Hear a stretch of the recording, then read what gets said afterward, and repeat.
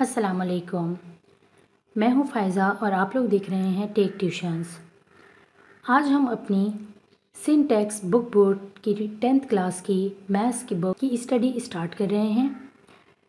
इसकी सबसे पहली एक्सरसाइज एक्सरसाइज 1.1 हम देखते हैं। सबसे पहले जो हमारे पास टॉपिक है, वो है रेशनल नंबर्स हम ये देखते हैं कि रेशनल नंबर्स क्या होते हैं। रेशनल नंबर्स ऐसे नंबर्स होते हैं जो कि फ्रैक्शन के फॉर्म में लिखे जाते हैं। इसकी सबसे पहली एग्जांपल जो मैंने यहाँ रखी है, वो है six over five six over five एक ऐसा नंबर है जो कि फ्रैक्शन की फॉर्म में लिखा गया है। इसी तरह एट ओवर थ्री ये भी एक ऐसा नंबर है जो फ्रैक्शन की फॉर्म में लिखा गया है। कोई भी नंबर जो फ्रैक्शन के फॉर्म में लिखा जाए, वो रेशनल नंबर कहलाता है। अगर हम तीसरा नंबर देखें तो वो है सेवन हम देखते हैं कि सेवन हमारा रेशनल नंबर है या इरेशनल नंबर है। अगर कोई नंबर हमारे पास होल फॉर्म में लिखा हुआ है तो हम ये भी कह सकते हैं कि उसके नीचे अपॉन वन है। क्योंकि अगर उसको वन से डिवाइड किया जाए तो उसके आंसर पर कोई फ़र्क नहीं पड़ेगा। लिहाजा सेवन भी हमारा रेशनल नंबर है। कोई भी ऐसा नंबर जो कि होल फॉर्म में लिखा जाए for example one thirty one इसको भी हम कहेंगे कि ये हमारा रेशनल नंबर है। क्योंकि इसके नीचे अगर हम अपॉन में वन लगाएँ तो इसके आंसर में कोई फ़र्क नहीं पड़ता। अब हम देखते हैं कि इरेशनल नंबर्स कौन से नंबर्स होते हैं। इरेशनल नंबर्स ऐसे नंबर्स होते हैं जो कि फ्रैक्शन की फॉर्म में लिखे नहीं जा सकते, जिनको फ्रैक्शन की फॉर्म में लिखना मुमकिन नहीं है। For example under root five under root five एक ऐसा नंबर है जिसको फ्रैक्शन की फॉर्म में लिखा नहीं जा सकता। इसी तरह अंडर रूट एटीन एक ऐसा नंबर है जो कि फ्रैक्शन में नहीं लिखा हुआ। लिहाजा ये दो एग्ज़ाम्पल हैं हमारे ऐसे नंबर्स की जो कि इरेशनल नंबर्स कहलाते हैं। आइए अब हम शुरू करते हैं एक्सरसाइज 1.1 एक्सरसाइज 1.1 में सबसे पहले जो हमारे पास क्वेश्चन है, वो है कि हमें डिफ्रेंशिएट करना है कि whether these numbers are rational numbers और इरेशनल नंबर्स हमारे पास जो सबसे पहला नंबर है, वो है वन ओवर फाइव जैसे कि हम जानते हैं कि वन ओवर फाइव एक ऐसा नंबर है जो कि फ्रैक्शन के फॉर्म में लिखा हुआ है। लिहाजा वन ओवर फाइव हमारा जो नंबर है वो है rational number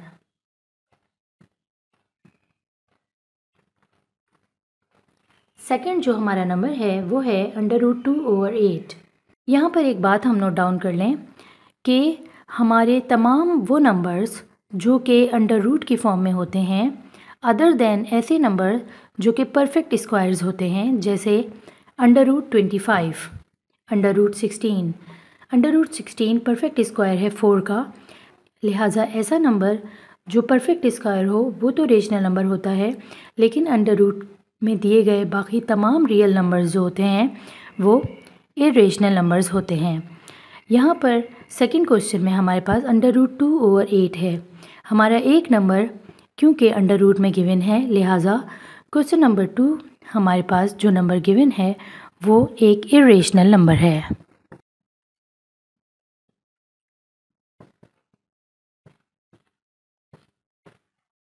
question number three अगर हम देखें तो हमें देखने में नज़र आ रहा है कि ये एक फ्रैक्शनल नंबर है, लिहाजा ये हमारा रेशनल नंबर है।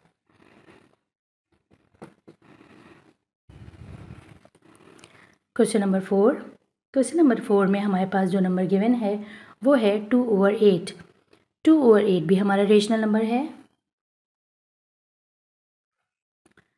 क्वेश्चन नंबर फाइव भी एक फ्रैक्शनल नंबर है. ये भी हमारा रेशनल नंबर है. क्वेश्चन नंबर सिक्स में हम देख रहे हैं कि हमारे पास अंडर रूट में एक ऐसा नंबर गिवन है जो कि परफेक्ट स्क्वायर नहीं है.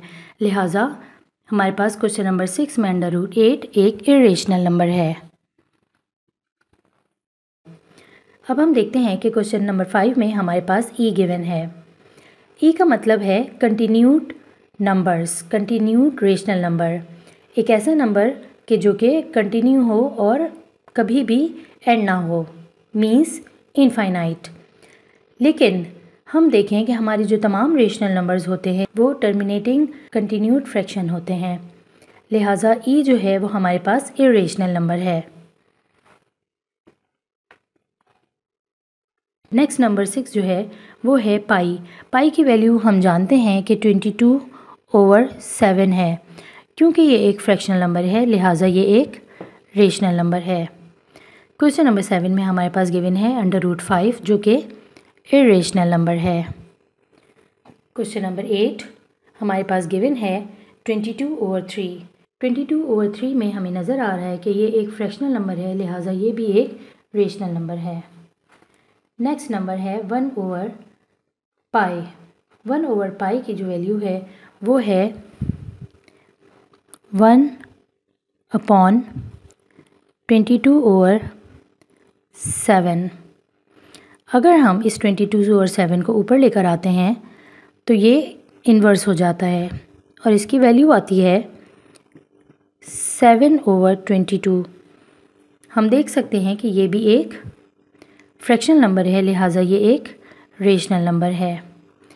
एलेवन ओवर ट्वेल्व जैसा कि हम देख सकते हैं फ्रैक्शन फॉर्म में हमें नज़र आ रहा है, लिहाजा ये भी एक रेशनल नंबर है। अगर आप मैथ्स में कोई ख़ास टॉपिक समझना चाहते हैं या इसी एक्सरसाइज में कोई बात डिटेल से पूछना चाहते हैं तो कमेंट बॉक्स में हमें बताइए। टेक ट्यूशन की लेटेस्ट वीडियोस देखने के लिए इसको लाइक और सब्सक्राइब करना ना भूलें।